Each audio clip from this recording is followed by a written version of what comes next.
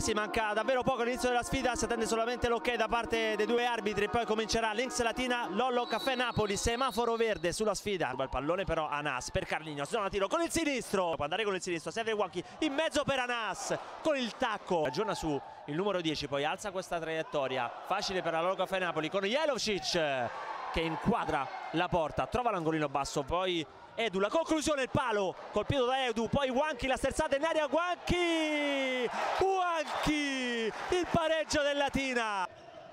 Una fase di studio da parte delle due squadre con Duarte che adesso prova il piazzato. Occhio a mancia, pensa al tiro, va alla conclusione. De Luca, ancora Duarte, errore sotto porta da parte del Latina e poi Cesaroni. Sigla il gol del 2-1, l'erroraccio. Jelovcic Pallone in mezzo, tutto troppo facile per De Luca che trova il gol del 3-1. Attenzione a Carlignos con il sinistro e il pallone sembra essere entrato. Non secondo gli arbitri, riparte Duarte.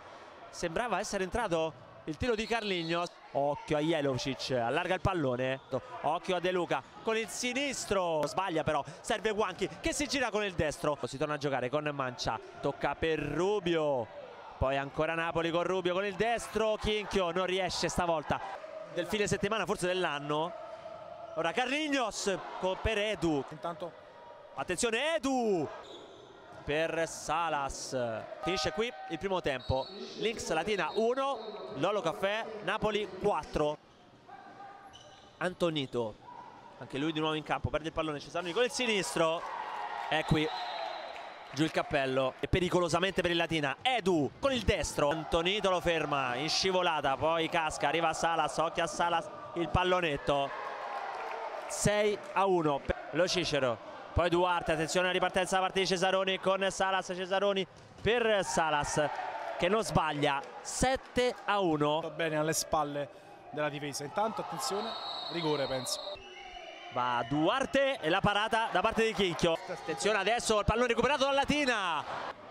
Per Carlignos, allarga nella zona di Anas.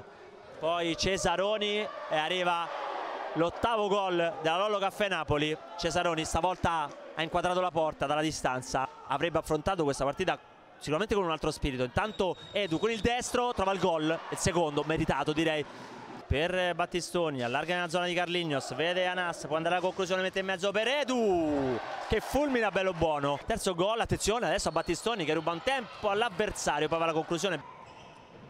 Ora bello buono ci mette le mani, poi la conclusione ancora una volta, sempre sua di Cesaroni che trova il nono gol. Finisce qui la sfida, Lolo Caffè Napoli batte 9 a 3 l'X Latina qui al Pala Bianchini.